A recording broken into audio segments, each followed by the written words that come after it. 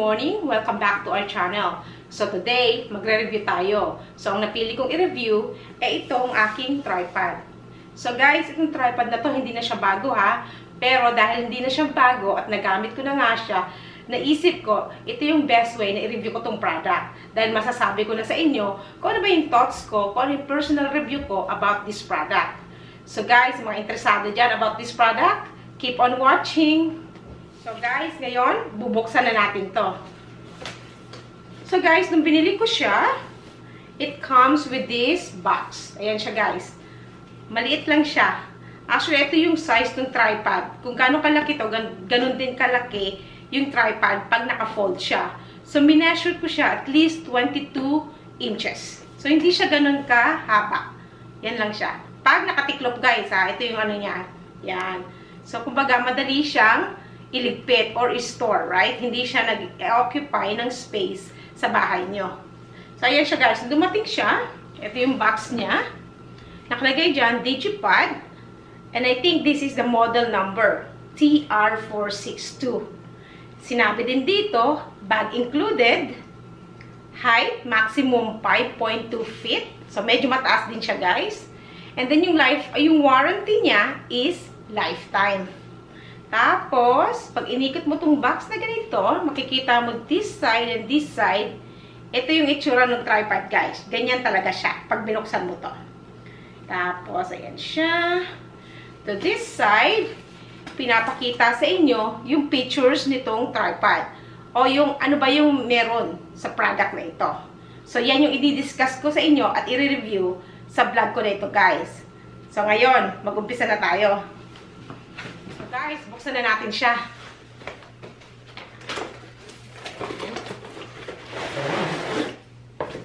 So sabi, di ba dun sa box, bag included. So ito siya guys, nung dumating siya, nakaganyan na siya, nakabalot siya sa bag na to. So yung bag na to guys, napaka-light lang niya. Parang, ewan ko kung anong tawag sa tela na to, pero napaka-light ng tela. So sabi ko nga, maganda rin siya kasi handy siya. Halimbawa, gusto mo mag-shoot ng video sa labas, pwede mo siyang dalhin. Ganito siya guys. Susukbit mo lang dyan sa likod mo. O, di ba Handy siya. At saka yung tripod guys, magaang siya. Siguro mga isang kilo lang yung ano niya, yung bigat niya. Ganun lang. Parang isang kilo lang. Pero pag nandito sa bag, madali siyang bitbitin kasi nga, handy siya. Kasi ganyan, no? isusukbit mo lang sa likod mo. Hindi talaga siya mabigat. Di, o, di ba? And then, halimbawa naman, tapos ka na mag-shoot, nasa bahay ka na, at hindi mo na kailangan yung tripod, Maganda rin yung nasa bag siya, guys. Kasi ganito mo na lang siya i-store o itatago. O, di ba? Napaka-tidy niya. At saka, naiingatan yung product dahil nakabag siya. Yun din yung nagustuhan ko sa product na ito. Dahil may kasama siyang bag, madali para sa akin. Kasi nga, hindi ko naman laging ginagamit yung tripod na ito. Kasi may dalawa akong tripod. So, hindi ko siya laging ginagamit.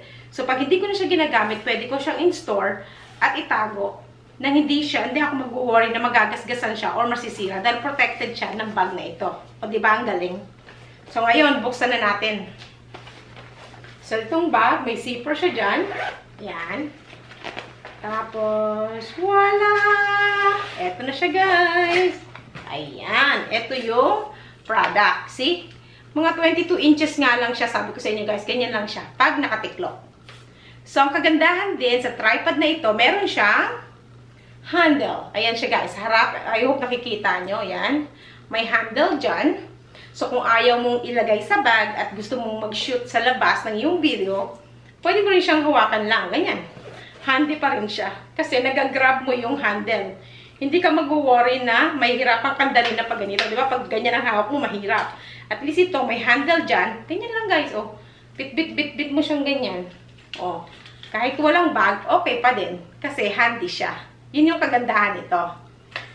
So ngayon guys, ipapakita ko naman sa inyo yung mga features na sinabi dito sa box. At i-discuss at i-review ko na rin sa inyo kung ano yung thoughts ko sa product na ito. So guys, umpisa na natin. Umpisa na tayo. So guys, ganito siya pag galing sa box.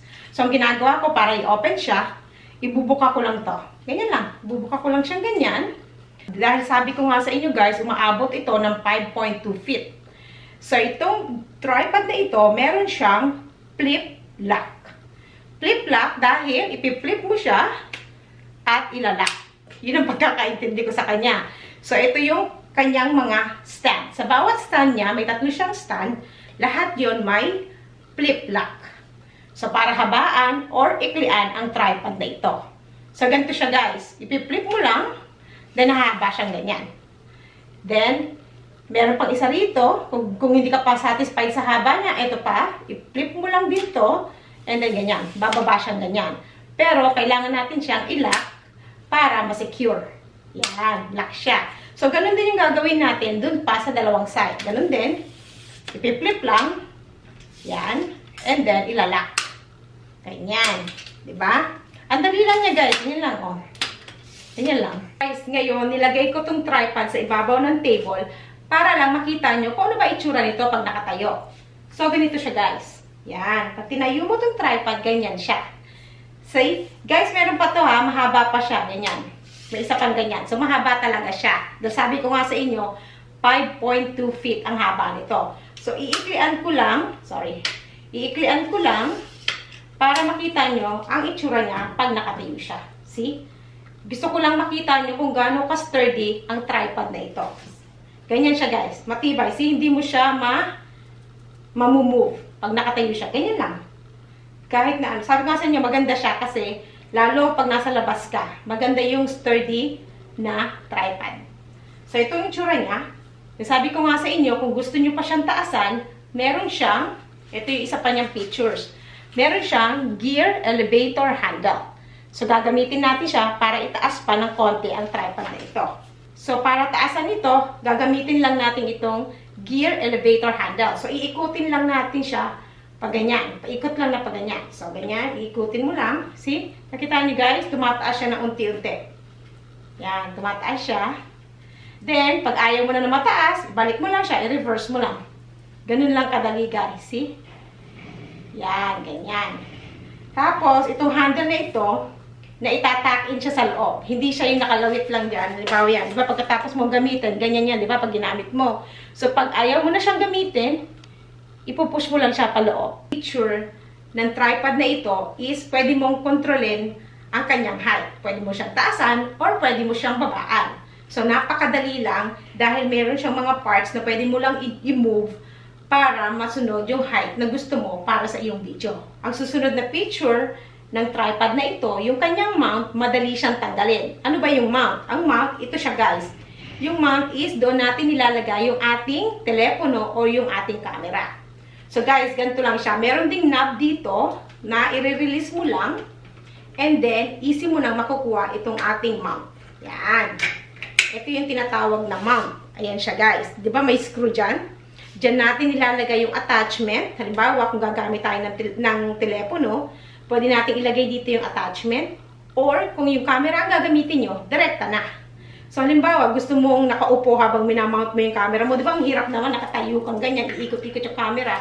So, pwede mo siyang tanggalin at ibalik ng napakadali lang. Dahil meron ditong knob na i-release mo lang at ibabalik mo lang para ilagay ito. Ganito lang siya kadali guys. See? Flip mo lang itong knob na to dito sa taas. And then, ibabalik mo siya. And then, ipi-flip back mo lang, nakalock na siya ulit. O, di ba guys? Mabilis lang siya. So, ngayon, so, ngayon naman guys, ipapakita ko sa inyo kung ano ba yung mga gamit ng mount na ito. So, una, dahil minsan ginagamit ko yung aking telepono, meron ako dito pang mount para sa aking telepono. So, yung mount na to guys, hindi ko siya, na, hindi siya kasama sa tripod na ito. Nabili ko siya ng separate. So, I'm sure, madali ito guys, madali lang siyang hanapin. Normally, kasama siya ng mga selfie stick. So, ito yung ginagamit ko. So, imamount ko lang siyang ganyan. Ganyan siya. So, ayan guys. Papakita ko lang sa inyo kung paano ko minamount yung aking telepono pag siya yung gusto kong gamitin. So, ayan. See? Nilagay ko lang dito sa taas yung kanyang attachment. And then, ganito lang siya. Yan. O, di ba ang galing? See? Nagagamit ko siya sa telepono at sa camera. So, ganyan. O, di ba? May mga times kasi na gusto kong gamitin yung aking telepono, so pwede ko pa rin siyang gamitin sa tripod na ito. So ngayon naman guys, ipapakita ko sa inyo yung itsura niya pag yung camera naman ang nakamount. Patanggalin muna natin to. So ngayon naman guys, ipapakita ko sa inyo kung paano ko minamount ang aking camera sa tripod na ito. Madali lang din siya guys. Di ba yung camera natin, meron siyang, yan, parang may butas dyan, may hole. Iko-connect lang din natin siya sa screw na to. So ngayon guys, ginagamit ko yung aking old Canon camera. Matagal na to sa akin. Kasi bago pa ako nag-YouTube, mahilig na ako mag-picture-picture guys. Kaya meron ako nitong ganitong klase ng camera. Pero yung camera na to, medyo luma na siya. Pero maganda pa rin. So ginagamit ko pa rin siya paminsan-minsan for picture taking.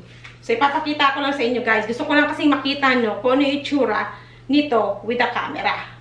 Kasi yung aking existing camera na ginagamit sa pagbablog, ginagamit ko ngayon. So, ito na lang muna yung gagamitin natin. Ganyan siya. So, inapasok mo lang din. Ganyan lang. Ganun kadali. Yan. Ikot-ikot lang. Ikot-ikot lang. Yan. Yan.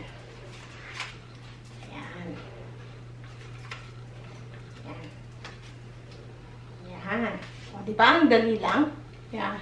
So, guys, gusto ko lang ipakita sa inyo kung ano itsura nito pag yung camera naman yung ginamit nyo. So, ganito siya, guys. Di ba? Ayan. O, di ba? Ang ganda. Ang galing ng tripod na ito. Pwede mo siyang gamitin para sa telepono. Pwede mo rin siyang gamitin para sa iyong camera. So, yan siya, guys. So, yung kanyang features. So, now, feature ng product na ito ay meron siyang 3-pan head. Ano ba ibig sabihin nun?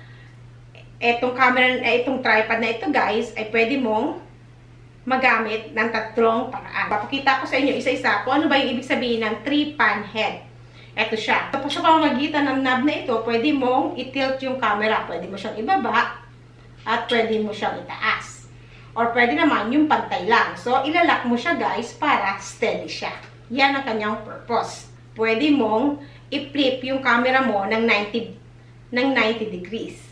Ganito siya, guys. So, meron ding knob dito sa likuran. Papakita ko na lang ng close, guys. Ah. Ito yung knob niya sa likuran. Yan.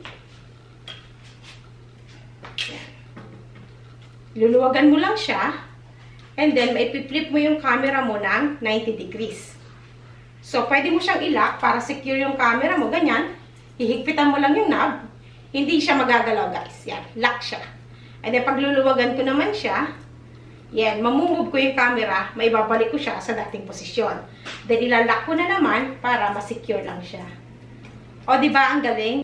Yan, yan yung tinatawag na three-pan way. So, pwede mong i-move, ang kagandahan na ito, pwede mong i-move ang camera mo na hindi mo na kailangan pang tanggalin pa sa attachment. Sa pamagitan lang ng iba't ibang knob na ito, ma-move mo yung iyong camera. Ang kagandahan din kasi nito guys, halimbawa ganito, right? Meron kang cameraman, at halimbawa, sa video mo, naglalakad ka, pwede kanyang sundan na hindi na siya umaalis sa kanyang posisyon. So, o, diba? Picture. So, guys, dito na tayo sa last picture ng tripod na ito. Meron siyang bubble level.